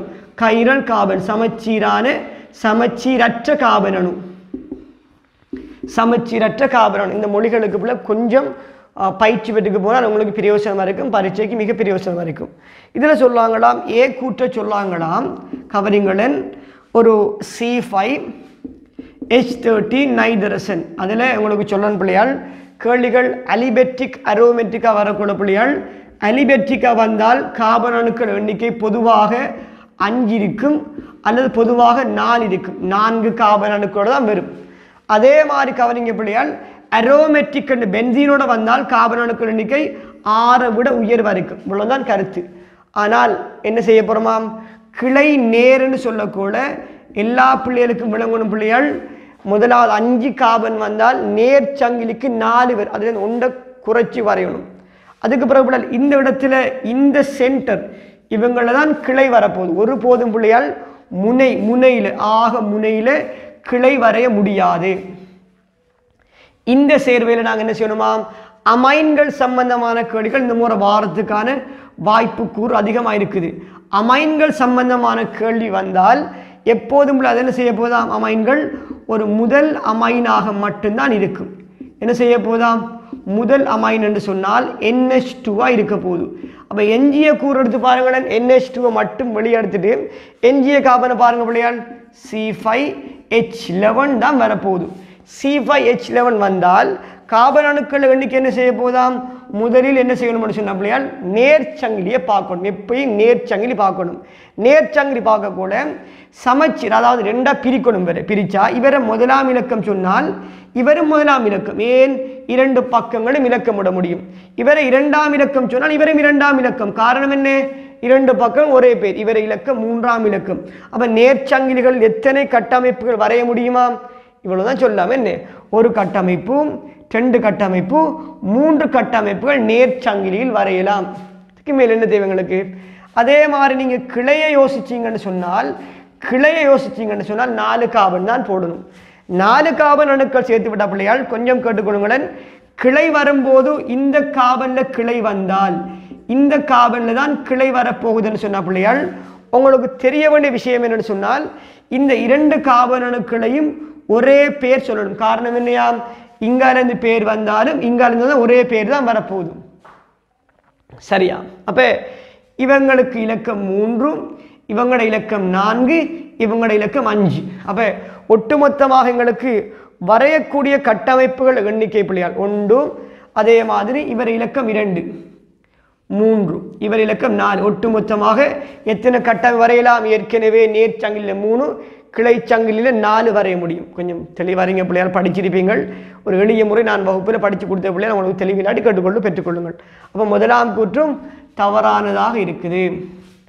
ரெண்டாம் கூற்று சொல்லாங்களாம் பி கூற்றை பொறுத்த வரைக்கும் என்ன சொல்லாங்கள்னு சொன்னால் C five H ten oxygen இவர் யாராக இருக்கு சொல்லுங்க பார்ப்போம். இவரை பார்த்த உடனே இந்த சூத்திரத்தை பார்த்த உடனே நாங்கள் தெரியும் என்னன்னு சொன்னால் படிச்சிருக்கிறோம் சிஎன் H2n ப்ளஸ் ஒரு ஆக்சிஜன் என்று சொன்னால் இது ஒரு கார்பனைல் சேர்வையாகத்தான் இருக்கும் என்ன இவர் ஒரு கார்பனைலாக இருக்கும். அப்போ கார்பனைல்னு சொன்னாலும் எத்தனை கார்பன் அப்போ நாங்கள் படிச்சிருக்கிறோம் அஞ்சு கார்பன் அணுக்கள் தான் நேர்ச்சங்கிலே வரைஞ்சி பார்க்கணும். இதில் சொல்லுவாங்களாம் கார்பனைலுக்கு வரையக்கூடிய அல்டிகைட்டுகள் நேர் கிளை அல்டிஹைட்டுன்னு சொன்னால் அல்டிகைட்டுகள் போல ஆக முனை காவலில் மட்டும்தான் அல்டிஹைட்டுகள் வர முடியும். அப்போ இவரை இலக்கம் ஒன்றும் இவரை இலக்கம் ஒன்றுன்னு தான் சொல்லுவோம். இவர் இரண்டு என்றால் இவர் இரண்டுன்னு சொல்லி இவர் மூன்று பிள்ளையால் தங்கம் கேட்டுக்கொள்ளாய்தானடா உனக்கு இந்த முறை உனக்கு நான் ஏற்கனவே சொல்லி தந்திருப்பேன். விளங்காத மாணவர்கள் கேட்டு தெரிஞ்சு கொள்ளுங்க. இது எளிய முறை. சரியா? ஒரு ஸ்ட்ரக்சர் செய்யறது எளிய முறை இதுதான். சரிதானே? அது உங்களுக்கு நான் ஏற்கனவே சொல்லி தந்திருப்பேன். அப்போ இந்த இலக்கம் அப்போ நேரில் உண்டு தான் வரையலாம். அப்போ நான் கிளை சங்கிலிகள் வரையும் போது பிள்ளையால் நான்கு காபனில் ஒரு கிளையை வரைஞ்சி விட்டேன்னு சொன்னால் உங்களுக்கு தெரியும் பிள்ளையால் இந்த ரெண்டு பேரும் ஒரே பேரை கொண்டு அழைப்போம். என்ன? ரெண்டு பேரும் ஒரே பேரை கொண்டு அழைப்போம் இவர் நம்பர் ஒன் நம்பர் ஒன் இவரும் ஒரு காபன் தான பிள்ளையான் ஆகவே நம்பர் டூ ஒட்டுமொத்தமாக வரையக்கூடிய கிளை அல்டிகைட்டுகள் நேரையும் கிளையும் மூன்று வரையலாம். திரும்ப பிள்ளையால் C five H eleven oxygen சொல்லலாம் C five H eleven oxygen இந்த இடத்துல சந்தேகம் இருக்குது என்று சொன்னால் அப்போ அல்டிகைட்டோட சமன்பாடு என்ன பிள்ளையால் படிச்சிருக்கிறோமா அல்டிகைட்டு ப்ளஸ் கீட்டோன்ற சமன்பாடு படிச்சிருக்கோம் என்னென்னு சொன்னால் C n H two N plus ஒரு ஆக்சிஜன் சரியா? அதே மாதிரி சொல்லாங்களாம் பிள்ளையாள் இது கீட்டோன்ற சமன்பாடு நாங்கள் படிச்சிருக்கோம். சி டூ ஹெச் ஃபைவ் ஓஹெச்ன்னு படிச்சிருக்கோம். ஞாபகம் இருக்குதா? C two H five OH அப்போ இந்த சமன்பாட்டை பொறுத்த வரைக்கும் நான் கார்பன் சார்வா சொல்லணும். இப்படி சொல்ல முடியாது மறந்தா சொல்லும் பாருங்களா சி டூ ஹெச் சிக்ஸ் ஓன்னு சொல்கிறேன் அப்போ சொல்லுங்கள் பார்ப்போம் இவர்களுக்குரிய சமன்பாடு என்ன வருமாம்? C n H two N plus என்ன வரப்போகுது? ஹெச் டூ என் அஞ்சு மூணு ஆறு தானே பிள்ளையாள் plus two plus one oxygen அப்போ இந்த சமன்பாட்டின் சமன்பாட்டின்படி பார்த்தேன்னு சொன்ன பிள்ளையால்? இப்படி யோசிங்கள் இல்லாட்டி. சி ஃபைவ் ஹெச் ஓஎச் தான் ஆல்கஹோலுக்கும் மிச்சம் என்ன வருமாம்? ஹெச் லெவன் வரணும் ஹெச் லெவன் வரணும். ஆகவே இந்த சமன்பாடு அல்டிகைட் ஆல்கஹோல்ல சமன்பாடு இல்லை. எவ்வளோ லேசான கேள்வி பிள்ளையால். நீங்கள் சொல்லுங்க கஷ்டமான கேள்வின்னு சொல்லியிருக்கீங்க அதே மாதிரி பிள்ளையால் கவனிச்சு கொள்ளுங்களேன். சி ஃபை சி ஃபை இப்படி சொல்லணும் பிள்ளையால் உங்களுக்கும் இந்த சமன்பாடு விளங்கி இருக்குமே என்ன? அதே மாதிரி டி கூற்றை பொறுத்த வரைக்கும் நான் என்ன சொல்லணும்னு சொன்ன பிள்ளையால் டி கூற்றை பொறுத்த வரைக்கும் அதே சமன்பாடு carbon C five H ten oxygen ஐந்து கார்பன்கள் என்று சொன்னால் ஐந்து காபனுக்கு எத்தனை கீட்டோன் வரையலாம்? இப்போ சொல்ல கேளுங்கோ. இந்த இரண்டு காபன்களும் ஒரே இலக்கம். இரண்டாம் இரண்டாம் காபன் ஒரு இலக்கம். மூன்றாம் காபன் கீட்டோன்கள் வரையப்படும் போது ஆக முனை காபனில் கீட்டோன் வர இயலாது இவங்க ரெண்டு பேரில் கீட்டோன் வரையலாம். ஒரு கிளைய வரைஞ்சம் என்று சொன்னால் ஒரு கிளைய வரைஞ்சம் என்று சொன்னால் ஒரு கிளையில் ஆக தொங்கல் ஆக முனைகளில் கீட்டோன் வரையலாது. இந்த இடத்துலையும் கீட்டோன் வரையலாது. இங்கே மட்டும்தான் கீட்டோன் வரையலாம். ஒட்டுமொத்தமாக நாங்கள் வரையக்கூடிய கீட்டோன் எண்ணிக்கை மூன்று. இது தெரியாமல் இருக்கீங்களா? ரைட் இல்லை லேசான என்னடா ரைட் அப்போ நாங்கள் இந்த இடத்துல சம்பாதியம் ஒரு லேசான ட்ரிக்கி பிள்ளையால் அந்த ட்ரிக்கியை விளங்கினா லேசாக இருக்கும். சரிதானே? ரைட் அதே மாதிரி நாங்கள் அடுத்த வினாக்கு போய்க்கணும் சரிதானே? ரைட் வினா இலக்கம் நாற்பது ஏபிசிடி கண்டு பிள்ளையால் நாற்பதாம் இலக்க வினா. ரைட் இந்த நாற்பதாம் இலக்கு வினாவை பொறுத்த வரைக்கும் பிள்ளையால் கவனிச்சு கொள்ளுங்க இந்த வினாவில் உங்களுக்கு தெளிவாக சொல்லப்படுற ஒரு விஷயம் என்னன்னு சொன்னால் நீரை கடத்தாறு கடத்தார சம்பந்தமான விஷயத்தை பிள்ளைகள் நான் கொஞ்சம் தெளிவாக்கி இந்த பதினாலாம் அலகுக்குரிய இந்த சூழல் மாசடைதலோட கொஞ்சம் லேசாக வாரன்.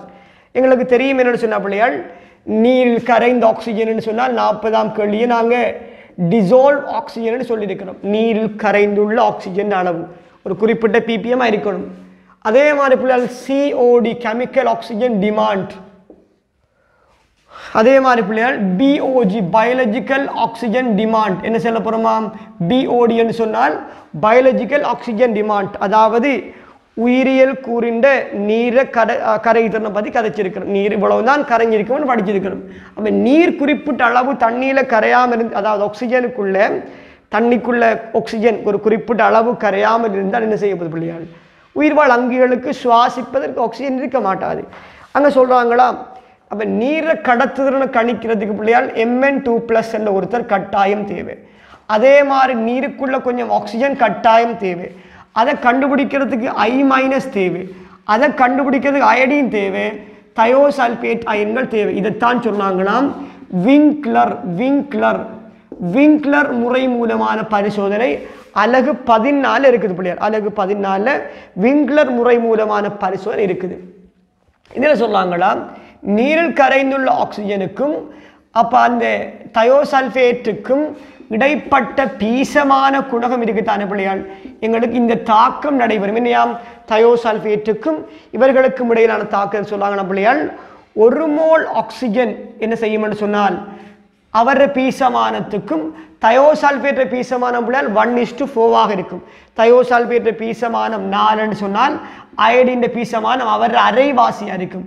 அயனின் பீசமானமும் எம்என்னோட்டோட பீசமானமும் ஒரு சமனான பீசமானம் ஆக்சிஜனுக்கும் தயோசால்பேட்டுக்கும் இடைப்பட்ட விகிதம். இது கட்டாயம் பிள்ளையால் தெரிய தெரிஞ்சிருக்கக்கூடிய பரிசோதனை. ரெண்டாயிரத்தி ஓராம் ஆண்டு ரெண்டாயிரத்தி பத்தொன்பது டிபார்ட்மெண்ட் ரெண்டாயிரத்தி பத்தாம் வருஷங்களில் வந்த கேள்விகள். விங்க்லர் முறை மூலம் தயோசல்பேட்டுக்கும் ஆக்சிஜனுக்கும் இடைப்பட்ட பீசமான குணம் என்ன பிள்ளையால்? ஒன் இஸ் டு ஃபோர் இருக்க போதும் அதே மாதிரி பாருங்க பிள்ளை என்னன்னு சொன்னால் எங்களுக்கு தெரியும் என்னன்னு சொன்னால் ஏ கூற்று சரியாக இருக்குது. பி கூற்றை பொறுத்த வரைக்கும் பிள்ளையால் கடத்தாறுன்னு சொல்லுவாங்க இந்த கடத்தாறு கடத்து திறன்னு சொல்லுவாங்களாம் அதே சைமன் மீட்டர் மைனஸ் ஒன்ல சைமன் சென்டிமீட்டர் மைனஸ் ஒன்ல மைக்ரோ சைமன் சென்டிமீட்டர் ஒன் அளக்கலாமே. ஒவ்வொரு பதார்த்தத்துக்குள்ளேயும் இவ்வளவுதான் இருக்குமென்னு தெரியாது. கொஞ்சமாக இருந்தால் சை மைக்ரோ சைமன்ஸ். அதிக அளவாக இருந்தால் siemens micro centimetre siemens centimetre minus one siemens ஒரு ஒரு கடத்தாறுன்னு சொன்னால் ஒரு ஒரு அலகில் எவ்வளவு? ரைட்ஸ் இருக்குதுன்னு அர்த்தம். சைமன் மீட்டர் மைனஸ் அளவு நீரின் கடத்தாரான நீரு கரைந்துள்ள பதார்த்தங்களும் பாதிக்கப்படும். அப்போ பிள்ளையால் நான் இவரை திட்டவட்டமாக சொல்ல இயலாது. ஏன்னு சொன்ன பரீட்சையில் ஒரு பரீட்சை வினாத்தாளை பொறுத்த வரைக்கும் பிள்ளையால் அவர்கள் என்ன எதிர்பார்க்காங்கன்னு நாங்கள் விளங்கல அது உங்களுக்கு விளங்குதா பிள்ளையால் ஒரு கேணியில் சார் இந்த விட தான் வரும்னு ஸ்கீம் பாருங்கட நீங்கள் இந்த முறை எக்ஸாம் எழுதி போட்டு பாருங்கள் பிள்ளையால் எக்ஸாம் எழுதி ஸ்கீம் வரங்காட்டிலும் ஸ்கீம் வரத்துக்கு இல்லை பிள்ளை என்ன செய்ய போகிறோமா நாங்கள் பல விடைகள் கொடுத்து பார்ப்போம் ஸ்கீம் வந்தால் ஒரு கேள்விக்கு பிள்ளையால் இரண்டு ஆப்ஷன் கொடுத்து வைப்பாங்க. என்னென்னு சொன்னால் ஏற்கனவே ஒரு நாளும் ஏற்கனவே பேப்பர் எடுக்கக்குள்ள ரெண்டு ஆப்ஷன் கொடுக்குறல பேப்பர் எடுக்கல ஒரு ஆப்ஷன் தான் விட வரும். ஆனால் அதுக்கு பிறகு நான் பாருங்கள் பிள்ளையால் அந்த எக்ஸாம் ஹோல்டில் அந்த பேப்பர் கரெக்ஷனில் தான் அந்த பேப்பர் கரெக்ஷனில் தான் பிள்ளை என்ன செய்ய போதாம்? ஒவ்வொரு ஆளும் ஒவ்வொரு ஆர்கியூமெண்ட் பண்ணியிருப்பாங்க தானே. அப்போ ஆர்கியூமெண்ட் பண்ணக்கூடாது என்ன செய்யணும்னு சொன்னால் அப்படியால் சில கேள்விகளுக்கு பல விடைகள் வர சான்ஸ் இருக்குது. இப்போ நாங்கள் ஒரு விடைக்கு போவோம். எங்களுக்கு பரீட்சை வினாத்தாள் எங்களோட சான்ஸ் நாங்கள் சரியாக தானே யோசிக்கிறோம்? ரைட் அப்போ அந்த இடத்துல குழம்ப வேண்டாம். ஓல் ஆன்சர் வருமா இல்லையான்னு யாருக்கும் தெரியாது. ஒரு கேள்விக்கு ரெண்டு மூணு விட வருமான்னு யாருக்கும் தெரியாது. அங்கே பேப்பரை வச்சா தான் எடுக்கலாம். என்ன பிள்ளை? நாங்கள் சரியாக படித்தா காணும். அப்போ நாங்கள் வேறு தவறான கருத்தை எடுக்கிறோம். சீ கூற்றை பொறுத்த வரைக்கும் என்னென்னு சொன்னால் கடல் நீரானது தூய நீர் தூய நீர்நிலைகளில் கலக்கப்படும் போது சிஎல் மைனஸ் அயன்கள் மற்றும் எஸ்ஓஃபோ டூ மைனஸ் அயன்கள் அதிகரிப்பதன் காரணமாக. பிள்ளையால் படிச்சிருப்பீங்களாம்? நீருக்கு இரண்டு விதமான வன்மை இருக்கும். நீருக்கு இரண்டு விதமான வன்மை. ஒன்று பிள்ளையால் என்ன செய்வது தற்காலிகமான வன்மை இருக்கும். அதே மாதிரி பிள்ளையால் நிரந்தரமான வன்மை இருக்கும். அப்போ நாங்கள் படிச்சிருக்கோம் தற்காலிகமான வன்மைக்கு அதிகளவாக காரணமாக இருக்கிறவர்கள் யாருன்னு சொன்னால் பிள்ளையால் HCO த்ரீ மைனஸ் அயன்கள செறிவு கல்சியம் டூ ப்ளஸ் சரிவை விட மெக்னீசிய திரசரிவோட என்ன செய்வது பிள்ளையால் மிக உயர்வாக இருக்கும் தற்காலிகம். இதை நாங்கள் பிள்ளையால் சாதாரணமாக கொதிக்க வச்சோம்னு அகற்றலாம். கொதிக்க வச்சாலே அகற்ற முடியும். ரெண்டாயிரத்தி மூன்றாம் வருஷம் எஸ்ஏக்களியை கொஞ்சம் செஞ்சு பாருங்கள் சரியா? எக்ஸாம் போகிறதுக்கு முதல்ல. ரெண்டாயிரத்தி மூணாம் வருஷம் இசைகள் செஞ்சு பாருங்கள் விளங்காட்டி கேளுங்க சரியா? அதே மாதிரி போல் நிரந்தரமான வன்மை நிரந்தரமான வன்மை என்று சொன்னால் என்ன? அதுக்குள்ளே இருக்கிற இந்த கல்சியம் டூ ப்ளஸ் அயன்கள சரிவும் மெக்னீசியம் டூ ப்ளஸ் அயன்கள சரிவு பிள்ளையால் இந்த HCO த்ரீ மைனஸ் அயன்கள சரிவோட மிக மிக உயர்வாக இருக்கும். அதே மாதிரி சொல்ல ரெண்டாயிரத்தி பத்தாம் வருஷக்களி செஞ்சு பாருங்க எம்சி களி உண்டு. அதில் சொல்லாங்க பிள்ளையால் ஒரு நீரிண்ட வன்மை இருக்கு தானே பிள்ளை அது பிபிஎம் நடந்து கொள்ளும். நீரிண்ட வன்மையானது என்ன செய்யும்னு சொன்னால் கல்சியம் டூ ப்ளஸ் செறிவு என்றும் நூறு தர பத்தின் மூணு. ஏனென்றால் நூறுங்கிறது கல்சியம் டூ ப்ளஸ் இவர் என்ன பிள்ளையார் வரப்போகுது? மோல் டெசிமீட்டர் மைனஸ் கியூப் காரணம் கவனிங்களா? இவர் அழகு பிள்ளையால் மோல் டெசிமீட்டர் மைனஸ் கியூப் இவர் என்ன செய்ய போகுது பிள்ளையால்?